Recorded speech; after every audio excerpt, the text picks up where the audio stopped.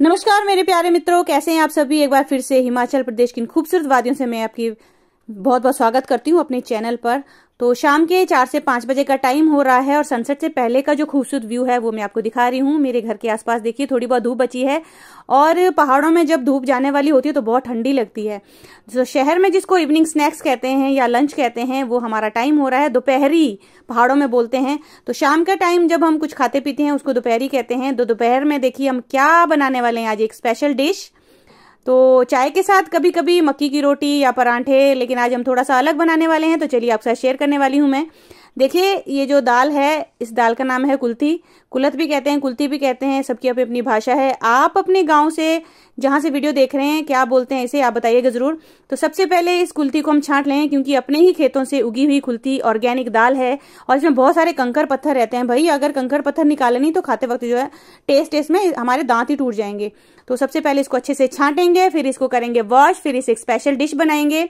सबसे पहली बात कि कुल्थी की दाल जो है, तासीर में गर्म रहती है, विंटर्स में खाना जो बहुत लाभदायक माना जाता है। सेकेंड थिंग की इससे जो है पत्थरी की जो प्रॉब्लम होती है, वो भी दूर होती है। कुल्थी का पानी पत्थरी के पेशेंट यानी स्टोन के पेशेंट के लिए रेकमेंड किया जाता है डॉक्टर की तरफ़ से। बहुत ही फ़ायदेमंद होता है। तो दाल को हमने धो के बॉईल करने के लिए लगा दिया है। शाम होने वाली है होने ही लगी थी। और शाम होते ही देखिए पहाड़ों में ठंड स्टार्ट हो जाती है। दिन भर तो बहुत अच्छी धूप खिली रहती है। तो इसलिए हमने बुखारी भी जल, जलानी स्टार्ट कर दी है। जैसी बुखारी तपेगी वैसे खाने पीने में गर्म गर्म कमरे में भाई मज़ा ही कुछ अलग आता है। तो चलिए तड़के की तैयारी कर देते हैं। कुल्थी को बॉयल होने के लिए लगा दिया है। प्याज और लहसुन को बढ़िया से काट देंगे हम। और यहाँ पे भाभी जी देखिए तड़का लगाने लगे हैं।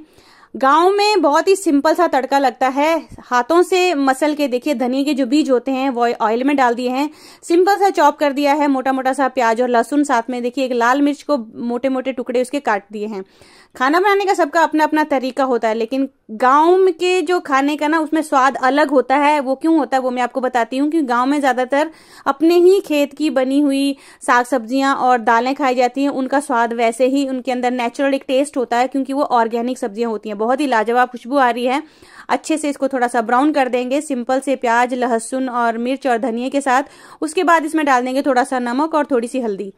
तो गाँव में मम्मियों का, बुआओं का जो हमारे जो बुज़ुर्ग लोग हैं ना, उनके हाथ में वैसे ही बहुत ज़्यादा टेस्ट होता है। हम चाहे कितना भी अच्छे से अच्छे तड़का लगा दें और अच्छे से अच्छे इसमें मसाले डाल दें, वो स्वाद नहीं आता जो अपने ही खेत की बनी हुई साग सब्जियों और दालों में आता है। तो अच्छे से तड़का लगाने के बाद देखिए, कुल्थी हमारी बॉईल हो चुकी है और इसमें डाल देंगे हम। पानी नहीं डालना है, बस सूखी कुल्थी डाल देनी है और उसके बाद इसको अच्छे से कर देना है मिक्स बहुत ही लाजवाब ये मोड़ी बनती है। इसके इंडरे भी बनते हैं और इसकी दाल भी बनती है, लेकिन हम आज मोड़ी बनाने जा रहे हैं। दाल मैंने खाई है, इसकी खिचड़ी भी बनती है। खिचड़ी भी बहुत लाजवाब होती है। सर्दियों में खा लेनी चाहिए, क्योंकि इसकी तासीर जो गर्म रहती है और हमारी बॉडी को वार्म रखती है। और ये हेल्दी होती है, ये जुकाम, खांसी, बुखार में भी बहुत लाभदायक होती है। तो आज हम खिचड़ी दाल नहीं बनाएँगे, आज हम इसकी मोड़ी खाने वाले हैं, जो हम, हिमाचल प्रदेश के गाँव में जो है ना, दोपहरी के टाइम पे इस टाइप का खाना खाया जाता है। हमारे यहाँ लंच को दोपहरी बोलते हैं, जब शाम होती है ना चार पाँच बजे का उस टाइम चाय बनती है, और उसके साथ के लिए, चाय के साथ के लिए या रोटी, परांठा, मक्की की रोटी, हलवा या इस टाइप की कुछ ना कुछ स्नैक्स में बना देते हैं, और उस खाने को हमारे यहाँ पे दोपहरी खाया जाता है। तो देखिए, उसके बाद हरा धनिया इसमें डाल के बहुत ही लाजवाब टेस्ट है, एक मज़ेदार बात है कि हमारी भाभी जी का जो इंडक्शन इंडक्शन है ना, उस पर इस तरह की लोहे की कढ़ाई बड़े आराम से आ जाती है। भाई, हमारे इंडक्शन तो बड़े अजीब से हैं, ये तो लोहे की कढ़ाई बिल्कुल भी नहीं मानते इनको तो। इंडक्शन बेस्ड बर्तन चाहिए, इनका इंडक्शन बड़ा ही लाजवाब था, आपने देखा होगा।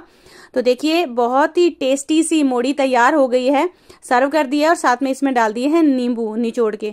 और भाई, नींबू के साथ तो इतना ही मज़ा आता है, अगर इसमें कच्चा कच्चा प्याज डाल दें और साथ में मूली डाल दें तो और भी मज़ा आता है। बहुत ही मज़ा आया था और इसके साथ अगर चाय मिल जाए तो मज़ा ही कुछ और आ जाए, मैं बता नहीं सकती। आपको आप भी बनाइएगा, अपनी फैमिली के साथ इंजॉय कीजिएगा। आज का टेस्टी टेस्टी देखिए स्नैक्स हमारा तैयार है। मिलूँगी आपको नेक्स्ट वीडियो में। Till then bye